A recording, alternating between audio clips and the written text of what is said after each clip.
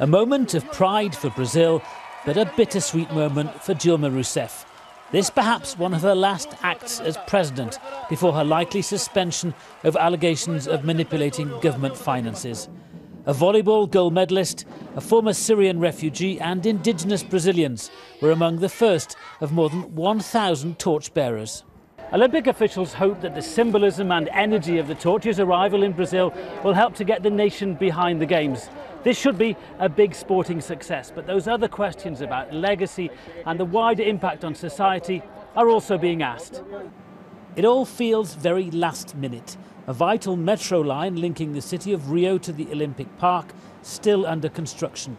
No one knows what level of service will be provided when the Games open. This is just one of several transport projects struggling to be ready. But Rio's high profile mayor denies making promises the city simply couldn't keep. What we try to do is like, let's get the Olympics, you know, to try to do things that the city has been waiting for a long time. Okay. 23 kilometers of subway that we will deliver, 26 kilometers of light railway train in downtown Rio. While the metro will eventually be built, other so-called legacy commitments have been ditched altogether. Rio promised to clean 80% of the sewage going into its chronically polluted bay, the location for Olympic sailing events, and what should be a safe environment for its people after the Games.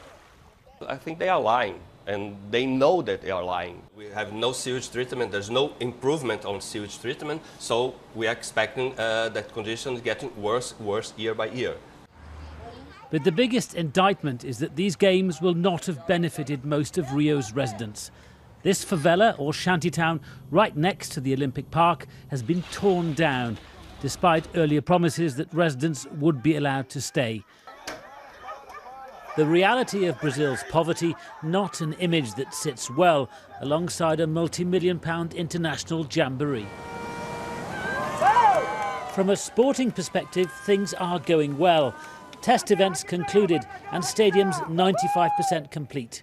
With the Olympic torch on a nationwide tour, is there still time for the Games to leave a real legacy?